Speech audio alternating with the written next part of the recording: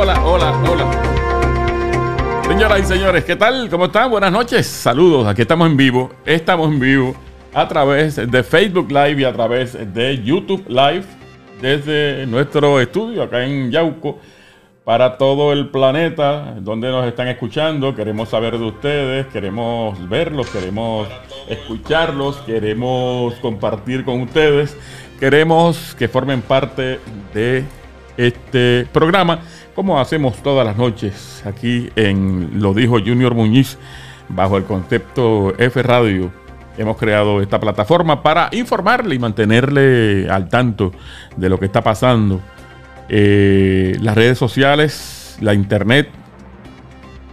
Hay unas noticias que sobresalen sobre otras. Hay un caso de una eh, contadora, no sé si es contadora pública autorizada o, o qué, sé que trabaja en un hotel eh, en Ponce que está siendo acusada por maltrato contra su niño de 8 años. El niño fue encontrado marcado al llegar a la escuela se llevó a cabo un protocolo, se investigó y el niño confesó que su madre lo estaba maltratando con una chancleta con tacos. Con una chancleta con tacos, señoras y señores.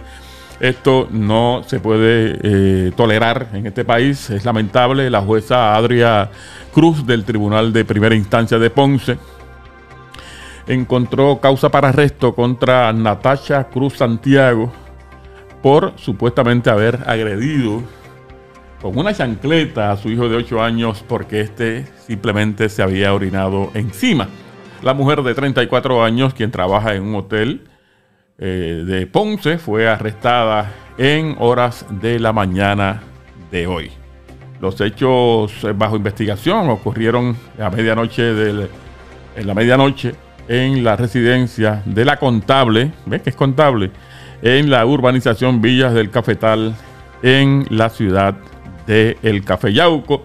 Cuando el niño fue dejado en la escuela esta mañana, los maestros se percataron de la condición del menor y al preguntarle dijo que su mamá le había dado con una chancleta la que tenía taco. el niño fue llevado al centro de diagnóstico y tratamiento de Guayanilla. Por eso es que a veces, por eso es que nos confundimos. Creíamos que era en Guayanilla, es aquí en Yauco. Allí el doctor de turno en el CDT de Guayanilla le diagnosticó contusiones en diferentes partes del cuerpo y que fue víctima de abuso físico el niño. Eh, según el informe policial, ante esto a la mujer le retiraron la custodia del menor agredido y su otro niño. Aparentemente tiene otro niño. La jueza le impuso una fianza de 3 mil dólares que nos pareció ridícula. La fianza de 3 mil dólares, la cual fue prestada.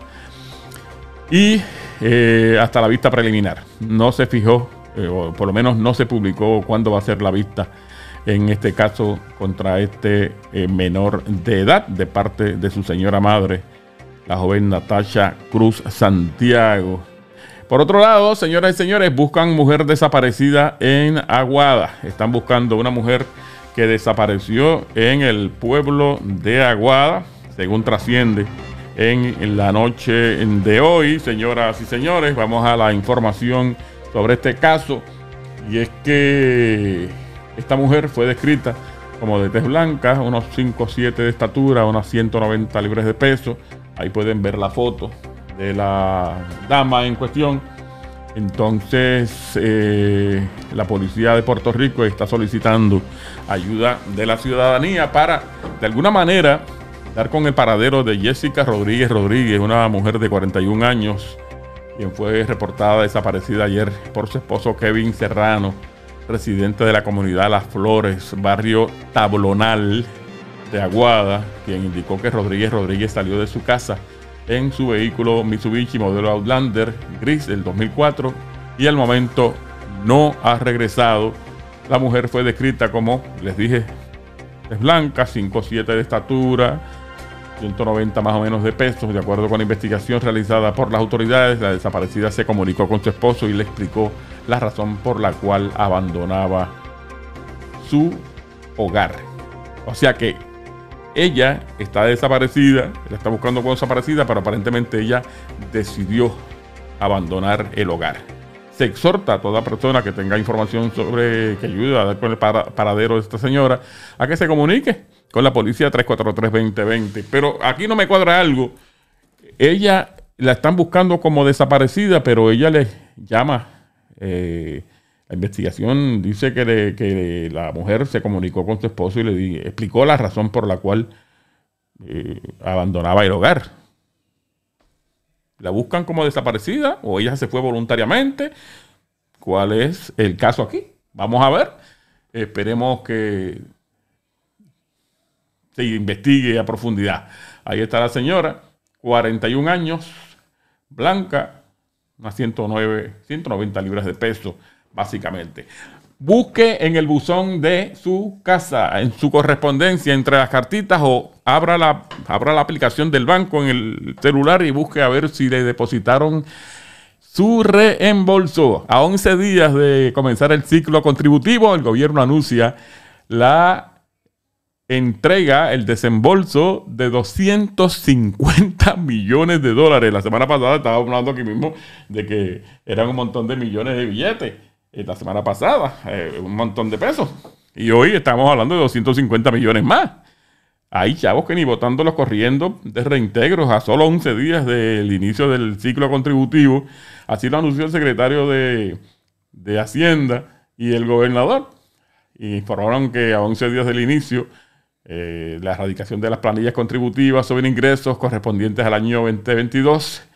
Ya se han desembolsado 250 millones gracias al buen manejo de las finanzas públicas y a los avances en los procesos tecnológicos alcanzados por el Departamento de Hacienda.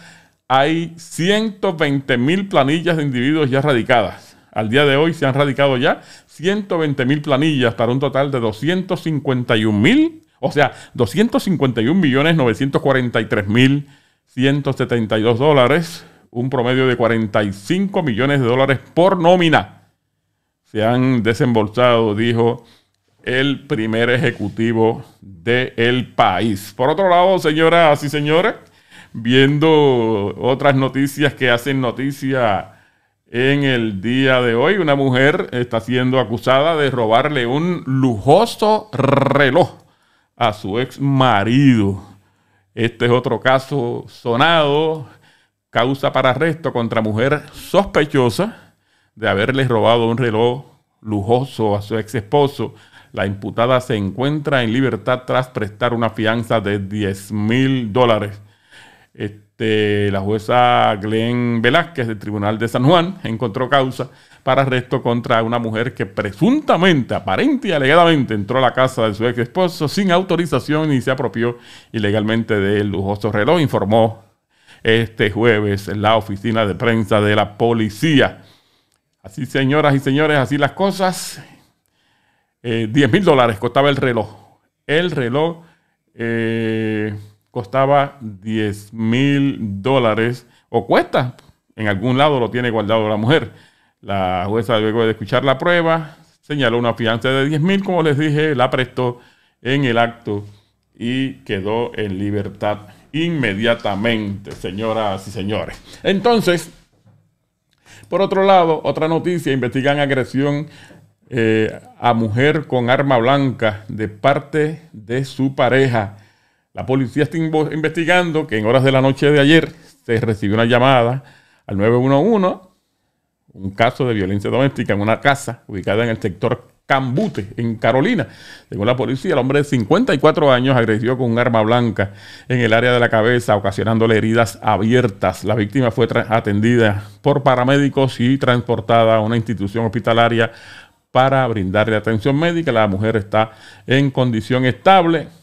En la búsqueda del agresor se logró ocupar un vehículo de motor Mitsubishi modelo Lancer negro abandonado en el cual utilizó para huir de la escena. El hombre se fue de la escena en el Lancer negro, encontraron el vehículo, pero el sospechoso todavía está siendo buscado por las autoridades. Sigue la violencia, señoras y señores.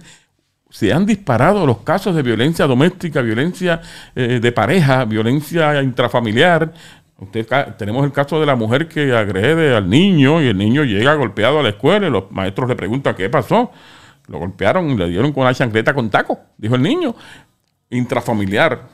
la madre golpeando a los niños, el esposo a la mujer, la mujer al esposo.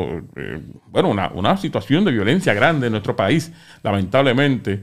Esta agresión contra esta mujer es otro caso adicional. Entonces, según nos indica el periódico Metro, esta noticia de la mujer está en eh, es noticia. El periódico Metro nos dice que asciende a más de 500 agentes, ascienden a más de 500 agentes en su rango, a su rango de sargento. Pero una cosa, cuando ascienden un, sargento, un agente a rango de sargento, esa plaza de esa gente queda vacía como policía. Eh, raso, como decimos.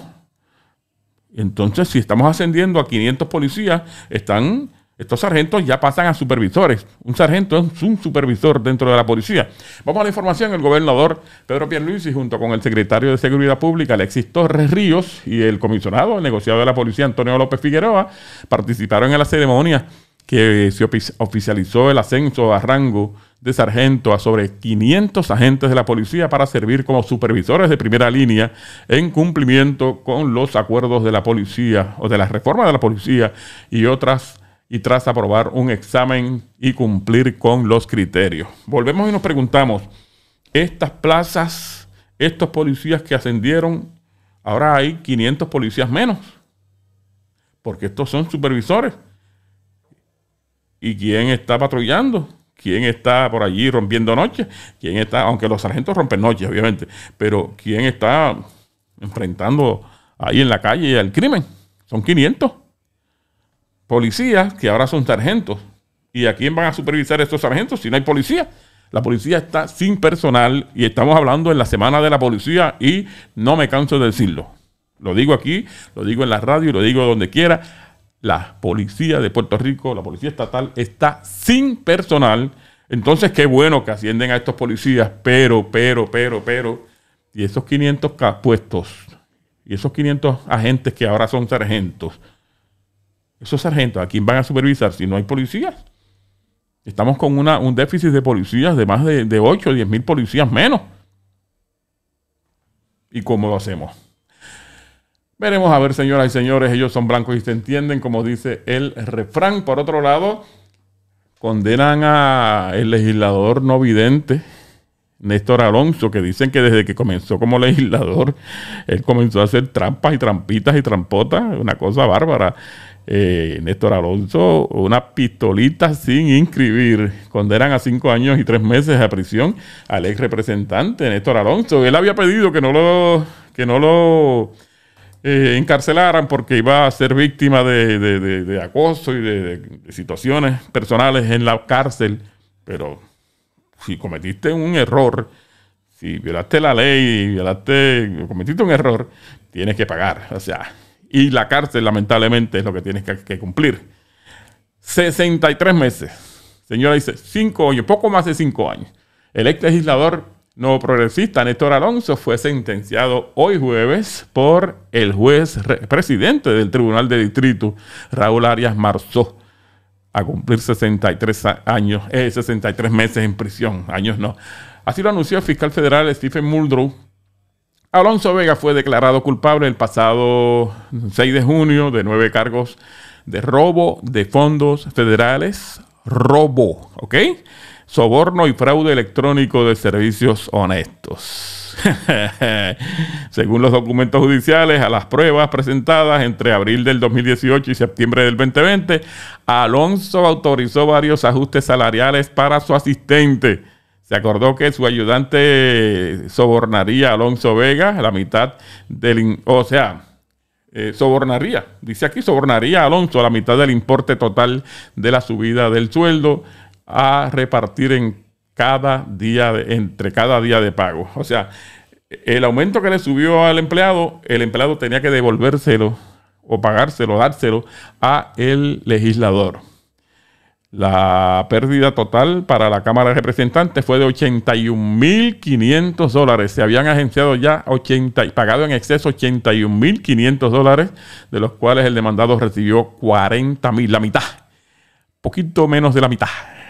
40 mil dólares. Se alega además que el asistente que testificó durante el juicio utilizó una variedad de medios para transferir los sobornos a Alonso Vega, por ejemplo, a TH Móvil hizo retiros en el momento en el que recibió el cheque de pago y pagó a Alonso Vega en efectivo. En ocasiones hizo pagos a la cuenta de Home Depot de Alfonso Vega, Alonso Vega y así por el estilo. Habían diferentes formas de pagarle al legislador. Y, esto, esto, señoras y señores, si no me equivoco, este legislador fue electo en el 2016, me parece que fue electo, y ya en el 2018 estaba con ese traqueteo, con eh, aumentos a, los, a un supervisor, a un ayudante especial, para que le agenciara el dinero. Señoras y señores, por último y no menos importante, el reggaetonero, un reggaetonero buscado, que yo no lo había escuchado nunca, no lo he oído mencionar, Drismali, Drismali con Z.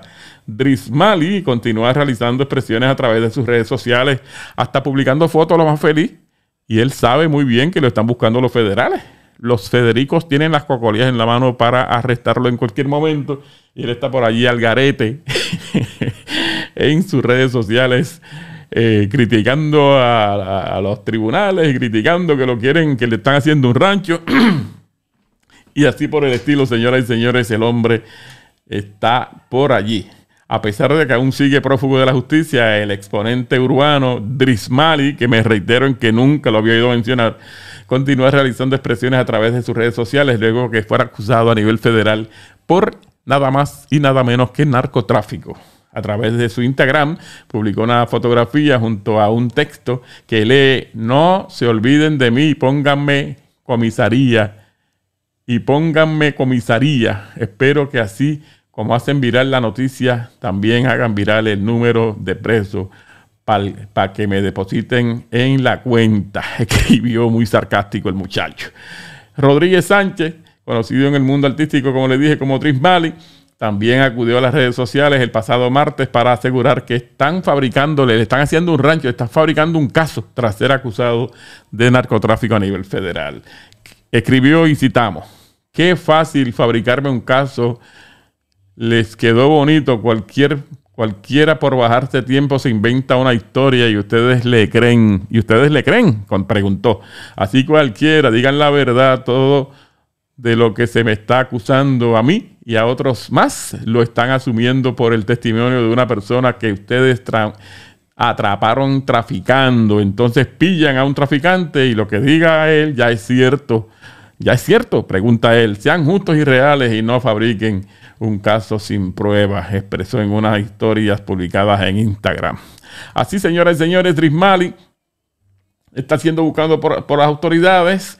El muchacho tiene un caso bien feo de narcotráfico y en cualquier momento, más tarde que temprano, le van a echar el guante a este muchacho que, este, volví y digo, me reitero en que nunca había escuchado hablar de él en las redes sociales, ni en la música, ni había escuchado una canción de él, ni nada, yo no sé, yo no entiendo. Yo no soy muy seguidor de la música reggaetón, pero la música que está pegada está pegada y uno la escucha por ahí en la radio, a veces sin querer, uno está en algún sitio o en el carro, va pasando el radio y escucha una canción sin querer. Eh, no patrocino la música urbana, no me gusta, pero, pero oigo emisoras que de vez en cuando ponen eh, música urbana o emisoras que ponen música urbana, pero de artistas que están pegados. Nunca había escuchado a Drismali, a Drismali, Drismali en ningún lado. no sé quién es él, ya veremos qué pasa, señoras y señores, en este, en el transcurso del tiempo con este eh, cantante exponente urbano. Ahora le llaman exponente urbano a cualquiera. Vamos a ver qué pasa con él. Drismali, yo creo que sería bueno, una buena idea que te entregues a la policía, que te entregues a los tribunales y enfrentes la justicia por lo que te está acusando y no sigas prófugo porque el, tiempo sigue pasando y posiblemente aumente el, el costo, el dinero, el costo de tu libertad aumente. ¿Sabes? Lo dijo Junior Muñiz, siempre es un placer Conéctese siempre con nosotros a esta hora más o menos. Estamos llevando a cabo estas transmisiones en vivo desde aquí, desde el estudio en Yauco. Soy Junior Muñiz, periodista por 40 años. Siempre es un placer hablar con ustedes. Gracias a nuestros queridísimos, amantísimos auspiciadores que son nuestra eh, piedra angular para seguir adelante produciendo cositas interesantes para ustedes. Y vamos por ahí con el dron y con la cámara. Estén pendientes que va a haber mucho material para que usted pueda verlo, mucho material visual para que usted lo pueda disfrutar aquí en Lo Dijo Junior Muñiz. Estén pendientes. Restaurante Deleite en el CNC Profesional Plaza Barinas Yauco 787-987-8088. El Desvío 1, detrás del ñato Ramírez Yauco, 856-2215. Café Bakery, en calle 25 de Julio, Yauco, 856-8269. Empresas Babilonia, guardias de seguridad e investigaciones privadas en Yauco, 449-6922. Una empresa en las manos de Dios. Papa Deleite en Yauco Plaza 1, 939 415-7391. El desvío número 2. Carretera 116 Lajas. 827-8422. M&M Autoservice. Comercio Final Yauco. 267-3136. Laboratorio Clínico Susúa. Barrio Susúa Alta La Palmita Yauco. Teléfono 856-5211. Gemelos Autopark. Sector 4 Calles Yauco 913-0000.